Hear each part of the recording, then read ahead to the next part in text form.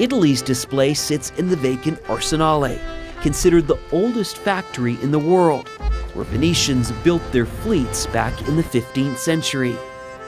Here we met students from New York's Pratt Institute, studying for the summer in Venice.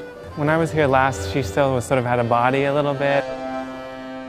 In one installation, the students are bathed in light. It is transfixing.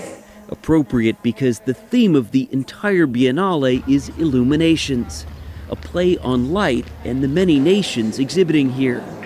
There is something mesmerizing about it. 30 year old Jessica Kloville is an art history grad student at Pratt.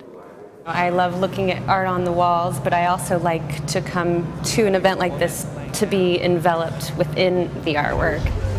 In fact, art seems to envelop the entire city.